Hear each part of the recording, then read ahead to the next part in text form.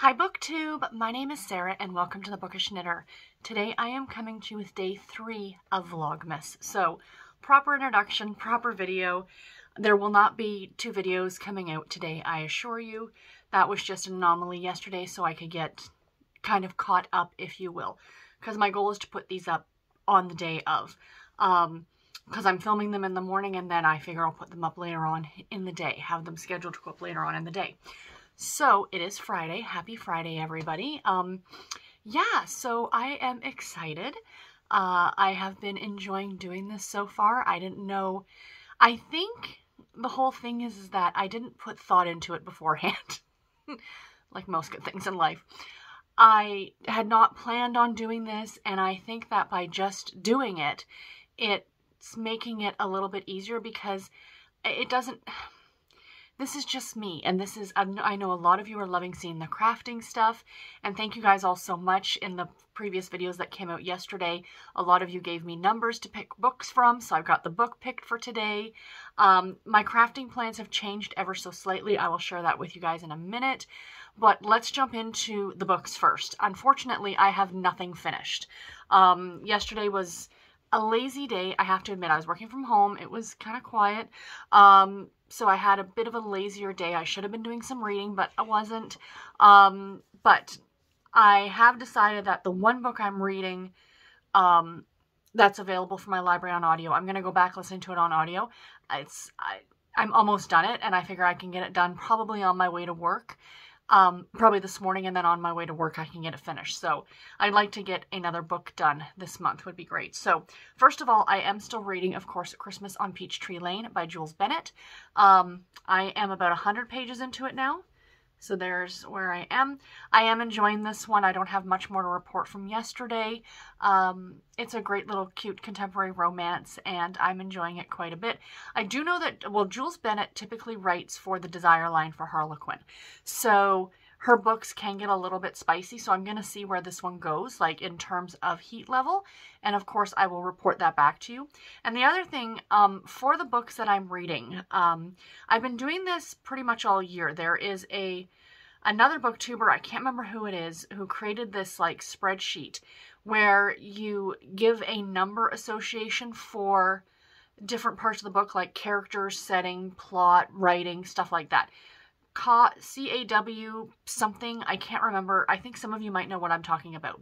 I altered the spreadsheet to include a column for holiday uh, because I do I read only really holiday books in December. However, I do tend to read them throughout the year, and that's a big thing for me, is how much holiday, how much Christmas is in the book. I mean, if the title says Christmas or if there's like a Christmas tree on the cover or, you know, blatantly you can tell it's a holiday no- novel or novella or whatever, how Christmassy or holiday is it? Because that's a big deal. My friend Brie and I have been talking about that, that it's like you get these books that are Christmas, but they're just set at Christmas. There's no real Christmas feel to them. And that's what I think a lot of people look for when they're reading holiday books. So when I do my reviews for books this month, I'm going to also talk a bit about how much holiday is in the book, just so you guys are aware of that, if it's something that's important to you. And if not, it's it is what it is. Like for example, when I finished reading um, the Fates one by uh, Rainbow Rowell, why does that title keep escaping my mind? If the fates be merry, I think I can't remember. I know it's a line from a Christmas song.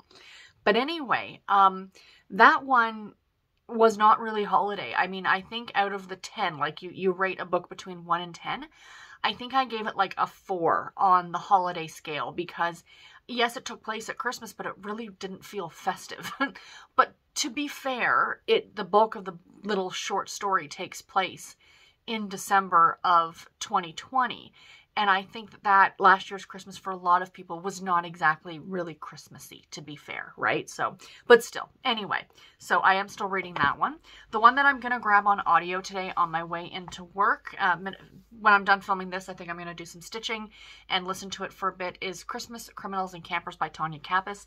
I mentioned the other day, I'm not a huge fan of the narration on this one, but it'll, it's fine. It's, it's, I can listen to it and get it finished. It's not a long book. I'm 60% of the way through it, but I do have a busier day today at work, um, according to my schedule. Yes, like from what I saw yesterday. So um, I want to get this one done. It, it's a shorter book. I should be able to get it finished. So yeah, I don't know. Um, I'm feeling audiobooks. So maybe maybe we'll get some more audiobook listening time and we shall see.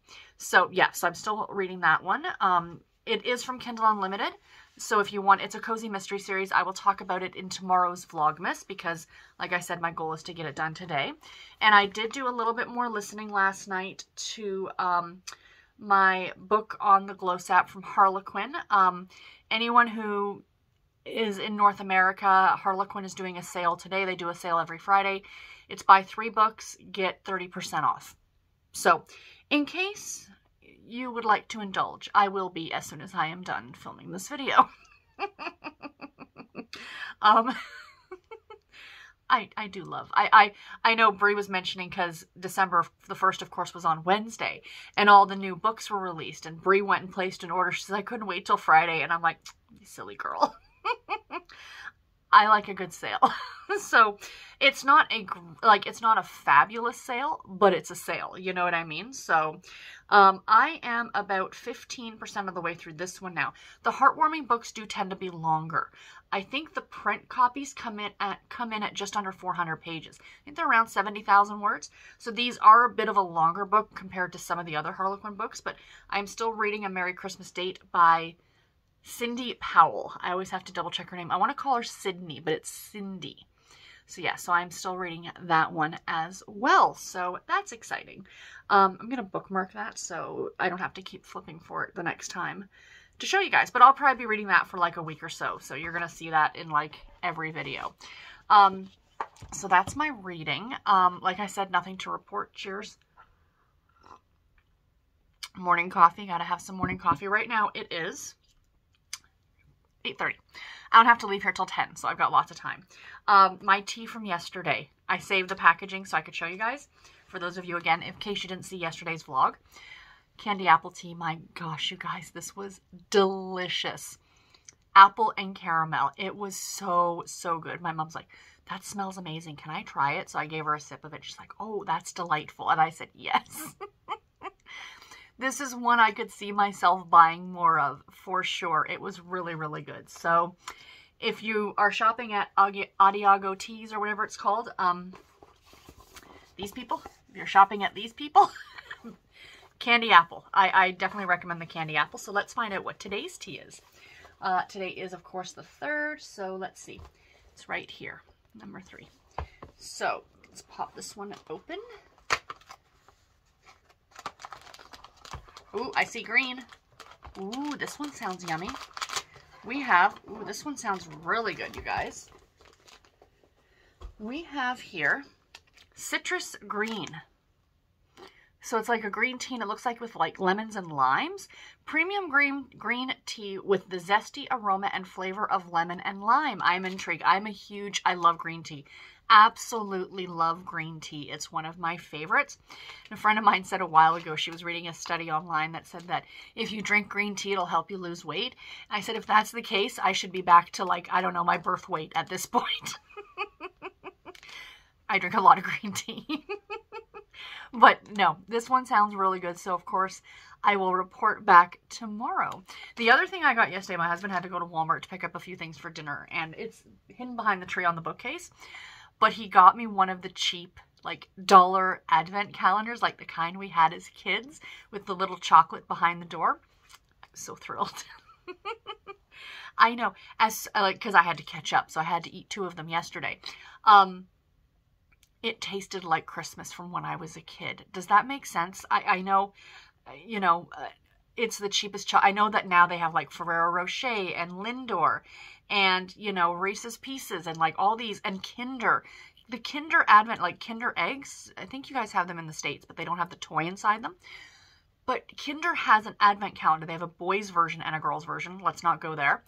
But um they're $25. I'm like, it's an advent calendar. It's got chocolate. I'm not about those premium chocolate calendars. Like, yes, I did spend some money on this, but for the chocolate calendars, give me the old school ones that we had as kids. But the other thing I found now, I don't know, are these just in Canada? Let me know because this is a staple of my childhood. But I found this at Walmart last week. It's the Terry's Chocolate Oranges. Um, the original Terry's Chocolate Orange. So it's orange chocolate. Um, but they come also in a, like, they look like an orange. Like they're the size of a clementine, I guess you would say. And I always used to get one in my stocking as a kid. And this tastes like Christmas as well. Like, do you know that there's just some things that taste like Christmas? Like, you know what I mean. So I found this at Walmart yesterday or the other day in a bar form and I like snatched it right up. They've got different ones now. They have like a dark chocolate one, a white chocolate one, but the original one to me is always.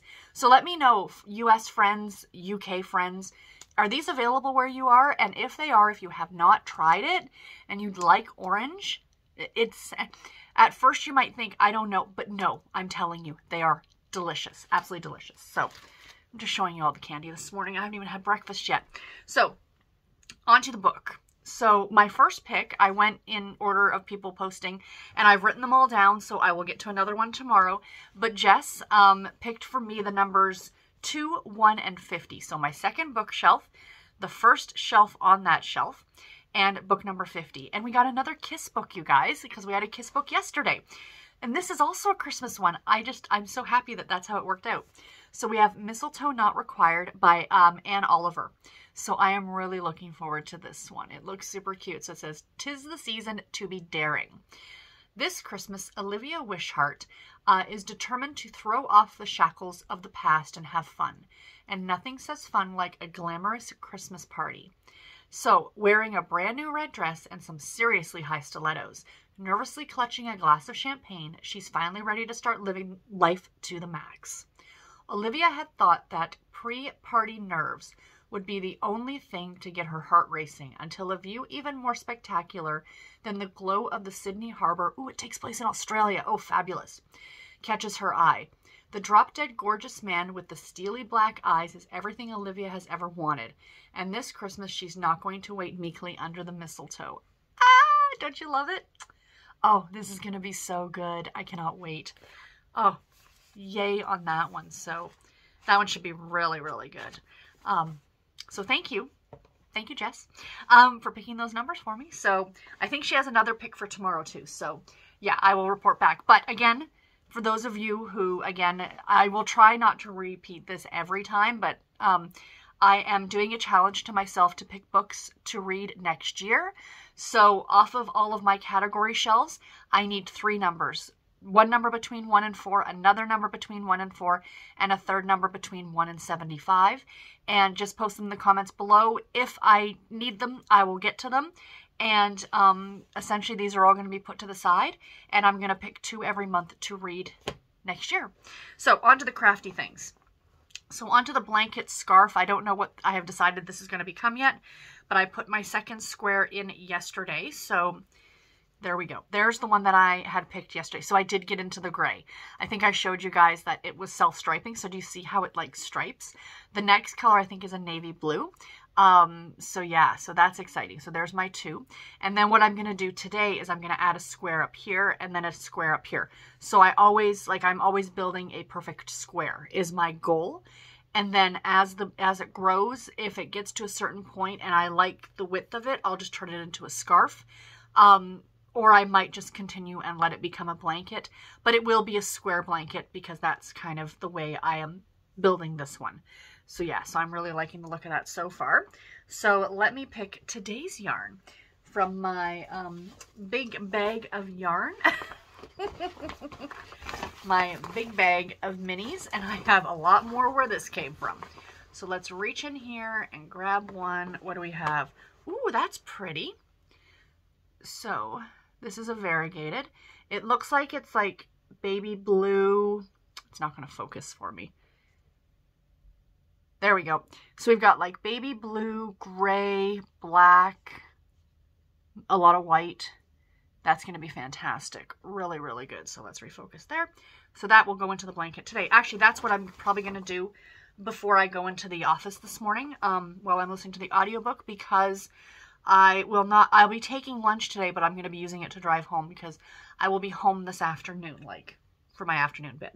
So the different, the other change to my crafting is that I had for, not forgotten. I knew I had bought this pattern because I literally bought it like a week ago. And, oh shoot, I'll have to show it to you on my Kindle Fire. And I had wanted to stitch it and I had the fabric for it and I had some of the floss for it, but I didn't have everything. So last night I made the decision that I really wanted to stitch this. I really wanted a Christmas piece to work on in December. I will not get this done for Christmas. I am fully aware that this is not going to be done in time for Christmas. But my thought process is instead of picking a new project every single day, is that I'm actually going to work on this project. This is going to be kind of like my focus piece in December. I'm going to work on it on Fridays, Saturdays, and Sundays throughout the whole month of December. And then, um, and then on Mondays and Wednesdays, the days I have to go into the office, I'm going to pick a knitting project to work on. Um, because knitting tends to be a bit quicker for me. I've got a sweater and two pairs of socks on the needles. So I'll show you those on Mondays and Wednesdays. And then on Tuesdays and Thursdays, the days I get to work from home, I um I have the extra time in the morning because and the extra time at night because I'm not doing the drive. So I have a bit more stitching time and stitching tends to take a little bit longer. Um, so I will pick a cross stitch pattern, something other than this one that I'm going to be working on. So let me show you this pattern first. It is adorable. The designer is called Autumn Lane Stitchery. There it is. And it's just, it's just delightful, you guys. Absolutely delightful. It is the most charming pattern. It is called, bear with, Santa Claus is coming to town. How cute is that? How cute is that? And they did an alternate design.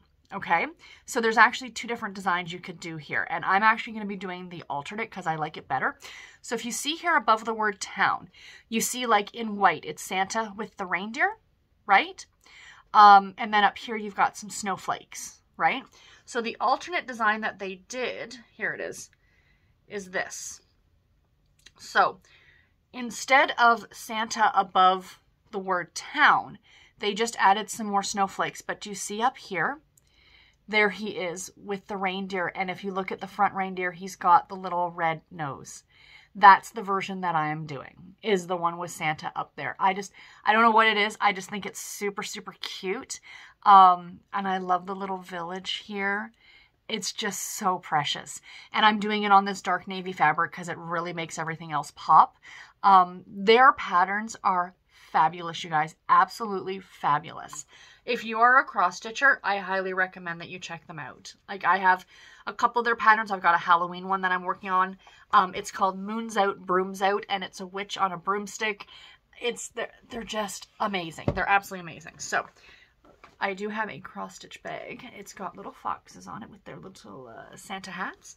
Um, and I did start working on this last night, even though I said I'm going to work on it when or Thursday, Friday, Saturday, Sunday, I did, I couldn't help myself and I started last night. So I started on the wording. So I've got the T started. So I'm just going to be adding, but, sorry, I almost just dropped my laptop. I'm leaning against it. Whoops, better not do that again. But yeah, there it is. So on this, I had the fabric already. I just needed to pick up a few floss things. So I will show you this tomorrow and see, show you guys the progress if I, however much more I get done on it. I think I'm going to finish the word town. Um, and then I think I'm going to do some of the snowflakes above. And then I think I'm going to start on Santa. I think Santa needs to, to get started being worked on. So yeah, I am really, really loving that so far. It's, it's really cute. I like the variegation in the, um, in the letters. Those are three different colors that you're using. So yeah, it's really, really cute. And I like it a lot. So yay, I am very excited. And here, in case you guys are curious, there's like all the floss. for this one. Um, so yeah, it's it's it's going to be really really fun. Um, and I'm gonna I think that I'm gonna get some really good progress done on this in the month of December. So I'm trying to think if there's anything else that I have to show you guys. I don't think so. I think that that is it. Um, again, we're right around the 18 minute mark. So I'm glad I'm doing these every day. And hopefully tomorrow I will have a book to talk about, a book that I finished. So fingers crossed on that one. But anyway, guys, until my next video, which will be tomorrow. So, side note. I made a decision to not stress myself out this December. I am loving doing these. It takes me 20 minutes in the morning to sit down and talk to you guys. You know, like for today, for example, I don't have to put any pictures up, and I think I'm going to do that. Like if I'm sharing a book with you guys that I listen, that I read either digitally or on audio, I think I'm literally just going to hold up my tablet with the book cover on it just to make it easier for editing so I don't have to insert pictures or anything like that. You know, really, 20 minutes to film, another, you know, maybe 20 minutes to edit and export it, and then I can get it posted. So really it's not taking much out of my day. So that being said, I don't, I think these are going to be the only videos that I'm going to be doing December 1st to the 24th. But I have a plan for the last week of December. So if all works out according to the way that I want it, you guys are going to see a video from me every single day in the month of December. so all the other videos that I would have done, like for example, like, you know, anticipated reads video and um, what else did I have planned? I have another one of those blog tours from Harlequin that I'm going to be doing. Of course, my January TBR. All those videos are going to come at the end of the month. Um, so stay tuned for that. Obviously, there will be no weekly vlogs. Those will kick back in in the new year. But I thought that this would be kind of a fun way to celebrate the month of December. Let's chill out. Let's take things easy. And, uh, and yeah, so that's it. Okay, I'm, I'm rambling. I gotta go. I'll talk to you guys later.